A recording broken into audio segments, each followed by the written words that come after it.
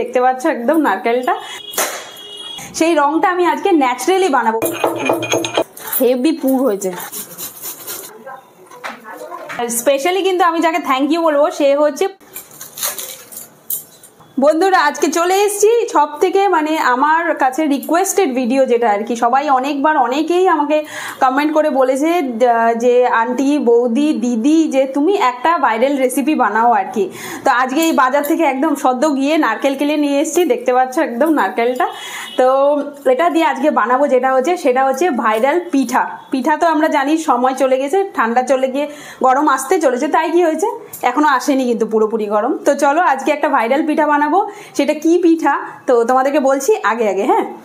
আচ্ছা পিঠা বানানোর জন্য সবার প্রথমে আমি এখানে নিচ্ছি হচ্ছে ময়দা, সুজি, চালের গুঁড়ো। ঠিক আছে? আর এরপরে এর মধ্যে আরও কিছু কয়েকটা জিনিস দিব। তো চলো এটা আগে আগে তো দেখতে পাবে। আর সেই জিনিসগুলো এমন কিছু না, সবটাই খুব নর্মাল জিনিস আর কি, যেগুলো আমরা ঘরেই সব সময় পেয়েই যাই। বানাবো হচ্ছে ভাইরাল পাটিসাপটা পিঠা। হ্যাঁ ভাইরাল পাটিসাপটা। পাটিসাপটা রিকোয়েস্ট আমার কাছে প্রচুর প্রচুর এসছে। অবশ্যই একটা পাটিসাপটা বানাই। তো ভাইরাল সে পিঠাটা যেটা আমরা জানি যে খুব সুন্দর রং দিয়ে যেটা বানানো হয়, সেই রংটা আমি আজকে ন্যাচারালি বানাবো। মানে কোনো ফুড কালার দেবো না। তো চলো সেটা বানিয়ে দেখি। হাজব্যান্ডের সব সময় সময় হয় না বলে মাঝে মাঝে আমি বাজার চলে যাই। তো কালকে যখন বাজারে গিয়েছিলাম, তো দেখলাম বেশ একটা ভালো নারকেল পাওয়া যাচ্ছিল। তো ভাবলাম চলো নিয়েই যাই, যখন পাটিসাপটার ভিডিও আমি বানাবোই ভেবে রেখেছি, তাহলে পরে আর কি, ও তাও নারকেলটা কিন্তু বেশ ভালো ছিল। নারকেলটা সাইজে ছোট, কিন্তু এত পুর এত পুর মানে আমি তখন থেকে করে যাচ্ছি মানে আমার ঘাম ছুটে গেল। এখনও অবধি এটা করাই শেষ হলো না। হেভি পুর হয়েছে। মানে অনেকগুলো নারকেল বেরোবে। ছোটবেলায় মা যখন এরকম নারকেল করতো সেই লক্ষ্মী পূজাই বলো বা পিঠে বানানোর দিন, আমি আর দাদা মানে আমাদের মজাটা কোথায় দেখো? এই যে নারকেলের যে নিচের একদম তলার অংশটা, এইটা। আর এগুলা কি করতাম? আমরা এরকম বের করতাম, চামচ দিয়ে বের করে বের করে এই যে নারকেলের এই পাটটা মানে এটাও ফেলব না আর কি, এটাও খেতাম। ওটার মধ্যেও কিন্তু অনেকটা রস থাকে। এটাও খাচ্ছে, খুব মজা। যাই হোক, আমার নারকেলটা কিন্তু করা হয়ে গেছে এখানটায়। এটাকে তুলে নিই। আর এটাকে রেখে দেবো। পাটিসাপটার ঘোল বানানোটা ঠিকঠাক মতো খুব জরুরি, নয়তো কিন্তু পিঠে গেলে ভালো করে উঠতে চায় না। তো আজকে আমি যেই মাপটা বলব, সেই মাপে যদি করো, তাহলে যে প্রথমবার বানাচ্ছে, সেও খুব ভালো করে বানাতে পারবে। এখানে আমি দু কাপ ময়দা নিলাম, তার সাথে এক কাপ সুজি নিচ্ছি। তোমরা চাইলে বাটির মাপেও করতে পারো। এবার একটা অর্ধেক বাটি মানে সেই বাটিরই অর্ধেক পরিমাণে দিয়ে দেবো, এর মধ্যে চালের গুঁড়ো। আর সেই অর্ধেক বাটিরই আবার দিয়ে দেবো চিনি। দিয়ে প্রত্যেকটা জিনিসকে একটা সুন্দর এরকম করে যে কোনো জিনিস দিয়ে একটু নাড়িয়ে ভালো করে মিশিয়ে নেব। এতে কি হবে মানে ঘোলটা খুব ভালো হবে আর কি। তো এর মধ্যে দিয়ে দিলাম এক ফোঁটা, এক চিমটি বলতে পারো নুন আর কি। তো যে কোনো মানে এরকম মিষ্টি জিনিসে দেখবে নুন দিলে পরে স্বাদটা অনেক বেড়ে যায়। এবার প্রথমে আমি তিন কাপ জল দিয়ে দিলাম এর মধ্যে, দিয়ে এবার আস্তে আস্তে এটাকে নাড়বো আর কি। তো নাড়তে নাড়তে দেখবে আস্তে আস্তে ঘন হয়ে আসবে। তো প্রথমে দু কাপ দিয়ে পরে এক কাপ আরও জল দিয়েছি। দিয়ে নিয়ে সুন্দর করে ব্যাটারটাকে আগে মিশিয়ে নিতে হবে। এরকম করে ভালো করে মেশাবে তাহলে দেখবে একটুও মানে দানা বাঁধবে না। এবার একটা এরকম খুন্তির মতো নিয়ে সেটাকে আবার একটু ঘুরিয়ে রাখবে রেখে এটাকে কিন্তু এখন কিছুক্ষণ পনেরো থেকে কুড়ি মিনিট এই প্যাকেটগুলো থেকে তো ইউজ করে নিয়েছি এবার এগুলোকে না একটা রাবার ব্যান্ড দিয়ে বন্ধ করে রাখছি না তো এর মধ্যে হাওয়া ঢুকে যাবে তো পরে আর ইউজ করা যাবে না তাই এটাকে এইভাবে বন্ধ করে রেখে দেবো তাহলে পরেও ইউজ করতে পারব। এরকম ঘরে না ছোট ছোট রাবার থাকলে খুব ভালো হয় কারণ এমন কিছু না কিছু থাকে যেগুলো কিনা আমাদেরকে এরকম বন্ধ করে রাখতে হয়। ব্যাস হয়ে গেছে এটাকে রেখে দেবো। বাড়িতে যেদিন এরকম পিঠে বানানো হতো, আমি, আমার দাদা, আমার কাকাতো বোনরা এত আনন্দ হতো আমাদের মানে সেদিন পড়াশোনা নেই, কিছু নেই, বসে থাকতাম, কখন পিঠে হবে আর খাব। আর এখন কারোর মধ্যে সেই কিন্তু মানে উৎসাহটা দেখতে পাই না। যাই হোক, এখানে কিন্তু আমি দিয়ে দিয়েছি কড়াইয়ের মধ্যে নারকেল কুচি আর তার মধ্যে গুড় দিয়ে দিয়েছি। এবার গুড়টা আমার কাছে একটু কম ছিল বলে আমি এর মধ্যে একটু চিনি মেশাবো, সেটা পরে। তো গুড়টা দিয়ে ভালো করে মিশিয়ে দিচ্ছি। খুব সুন্দর গুড়টা ছিল, অল্প গুড়েই দারুণ সুন্দর গন্ধ হয়েছিল। তো এটাকে আস্তে আস্তে নাড়তে নাড়তে ভালো করে মিশিয়ে মিশিয়ে নিতে হবে। আর এর মধ্যে দেখতে পাচ্ছ, আমি দিয়ে দিচ্ছি এখানটা, এই যে এই বড় চামচের এক চামচ চিনি। চিনিটা, মিষ্টিটা কিন্তু সবসময় নিজের পরিমাণ মতোই দিতে হবে, কারণ অনেকে মিষ্টি বেশি খায়, আবার অনেকে কম খায়, তাই না? তো আমি সেই রকমভাবেই আমার বাড়িতে যেরকম খাই সেই পরিমাণেই আমি এখানে মিষ্টি দিলাম। এখানে দিয়ে দিচ্ছি হাফ কাপ মতো দুধ। দুধটা দিলে পরে যে কোনো এরকম ধরনের পুর আর কি খুব সুন্দর হয়, বেশ খেতেও কিন্তু খুব ভালো হয়। তো এটাকে দিয়ে আবার এটাকে ভালো করে নেড়ে চেড়ে নিচ্ছি। পুর বানানোটা খুবই সোজা, তাই না? সবাই বানাতে পারে। তো আমি এর মধ্যে দিব একটু এলাচ, চারটে গোটা এলাচ নিয়েছি, এটাকে ভালো করে থেতো করে গুঁড়ো করে নিচ্ছি আর কি।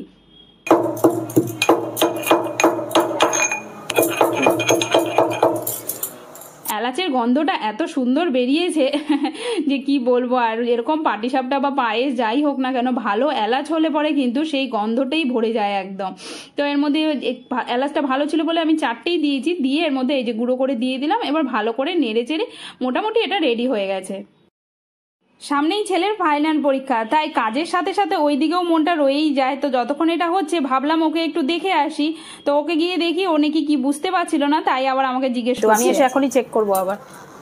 না। তো এখানে কিন্তু নারকেলের পুরটা একদম রেডি হয়ে গেছে। আর দেখো কি সুন্দর একটা রং মানে যে ইয়ের রংটা হয় না মানে গুড়ের যে রং আর কি সেটা কিন্তু খুব সুন্দর হয়েছে। আর এবার তোমাদেরকে এটা তো আমি সরিয়ে দিচ্ছি, এটা ঠান্ডা হোক, গ্যাসটা বন্ধ। এখানটা দেখাই যে এই যে এই যে গোলাটা বানিয়েছিলাম, এটার কি কন্ডিশন আর কি হ্যাঁ? তো এই যে ব্যাটারটা দেখতে পাচ্ছ, এই ব্যাটারটা দেখো কতটা গাঢ় হয়ে আছে। তো এর মধ্যে কিন্তু এখন একটু জল মেশাতে হবে। এর মধ্যে আমি অল্প অল্প করে একটু জল মেশাবো, আর এটাকে একটু মানে পাতলা করব আর কি।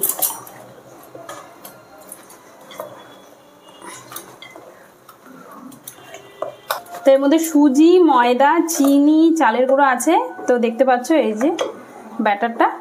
এটা কিন্তু মোটামুটি হয়ে এসছে।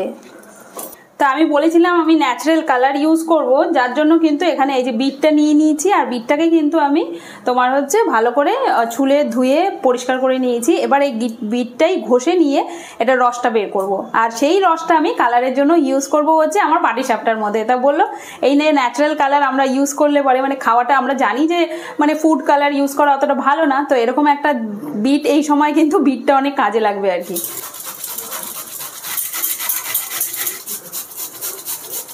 বিটটা খুব ভালো ছিল বলে অল্প বিটেই মানে অনেকটা রস বেরিয়েছে আর বেশ কালো মানে একদম লাল হয়েছিল। এখানে ব্যাটারের কনসিস্টেন্সিটা দেখতেই পাচ্ছ, এই যে একদম কিন্তু মানে বলে না, যেটা পোরিং কনসিস্টেন্সি সেরকমই আর কি। তো এইখানে আমি এটা এখন এই রঙের বাটিটাতে দিয়ে দেবো। মানে যেই বিটরুট থেকে যে কালারটা করেছি, সেই বাটিটাতে দিয়ে দেবো। জানো তো, চাইলে তোমরা কিন্তু অরেঞ্জ কালার করতে পারো, গাজর দিয়ে বা সবুজ কালার করতে পারো, পালং বা ধনে পাতা দিয়ে, এগুলোও কিন্তু কালার মধ্যে পড়ে আর কি কালার করা যায়। তো সেইটাই আর কি, তো এখানে দেখো আমি সুন্দর কালার করে নিয়েছি। এবার এটা এরকম একটা যদি না থাকে, তাহলে একটা প্লাস্টিক ব্যাগ যেটা পাইপিং ব্যাগ বলে, সেটাও ইউজ করতে পারো। তার মধ্যে ঢেলে নেবে, তাহলে এটা সুন্দর করে করা যাবে আর কি। তো কড়াইটা তেল দিয়ে হালকা করে গরম করে নিয়ে, এর ওপর দিয়ে কিন্তু প্রথমে এরকম একটা স্পাইরাল মানে গোল গোল ঘুরিয়ে নিতে হবে।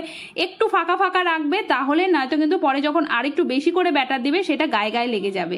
তো দেখো সুন্দর এটা হালকা একটু শুকিয়ে এলে তখন এটার ওপর দিয়ে সাদা ব্যাটারটাকে দিয়ে দেবে। সাদা ব্যাটারটা দিয়ে সুন্দর করে ঘুরিয়ে নেবে, দেখবে একদম যেইভাবে কনসিস্টেন্সি হয়েছে মানে সেই হিসেবে আর কি এটা কিন্তু ঘুরে যাবে। হালকা করে সেকে নিয়ে এর মাঝখানে পুরটা দিয়ে ব্যাস, এরপরে তো পাটিসাপটা বানানো আর কাউকে নিশ্চয়ই শেখাতে হবে না। সবাই আমরা পাটিসাপটা কীভাবে ফোল্ড করতে হয় জানি আর কি। তবে নতুন যারা করছ, তারা একটু দেখে নিও ঠিক কীভাবে এটাকে ফোল্ড করতে হয়। যেহেতু ননস্টিক প্যান ব্যবহার করছি এটা কিন্তু খুব সুন্দর করে হয়ে গেছে। এই হচ্ছে ভাইরাল পিঠা শেষ বানানো, আর তোমাদেরকে একবার দেখিয়ে দিই এখানে কেমন লাগছে দেখতে। ও আমি কিন্তু ভাবিনি যে এত সুন্দর করে প্রথমবারই বানাতে পারব। আর স্পেশালি কিন্তু আমি যাকে থ্যাংক ইউ বলব, সে হচ্ছে পাপিয়া নামে এক বুনু আছে যে নাকি আমাকে অনেক, অনেকবার আমাকে কিন্তু রিকোয়েস্ট করেছে কি, দিদিভাই, তুমি পাটি সাপটা বানাও। আর সত্যি অনেক ধন্যবাদ এত রিকোয়েস্ট করার জন্য। আর তোমাদের যদি এরকম কিছু রিকোয়েস্ট থাকে, তাহলে আমাকে নিশ্চয়ই জানাবে। আমি চেষ্টা করব ভিডিওতে তোমাদের নাম নেব, কার রিকোয়েস্টে বানাচ্ছি সেটাও কিন্তু বলব। তো এই পাটিসাপটা মানে এবার তো খেয়ে একবার দেখতে হবে তাই না? কেমন হচ্ছে? কি রে? আয় আয়ুষ আয়। তো চলো আয়ুষ চলে এসছে রিভিউ মাস্টার রিভিউ দিবি তুই? দাঁড়া। দারুণ লাগছে দেখতে আমি সত্যি কথা বলছি। তো প্রথমে আমি খাব। তুই তুই খাবি? হুম। গরম গরম। কেমন ভালো আছে এই ধরনের খাবার জানি বাচ্চারা কিন্তু খেতে ভালোই বাসে অবশ্যই। তো এই পাটিসাপটা পিঠা সত্যি বলছি এখানে দেখতেই পারো ফিলিং আর এটা সঞ্জয়ের জন্য। তো না তুমি একটু খাও। কি গো? তুমি একটু খাও খেয়ে বলো।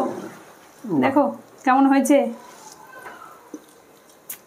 তা এখন হচ্ছে রিভিউ দেওয়ার পালা। কেমন হয়েছে বলো? পাটি সাপটা তাও আবার কালারফুল সত্যি। প্রথমবার বানিয়েছি তবে দারুণ হয়েছে।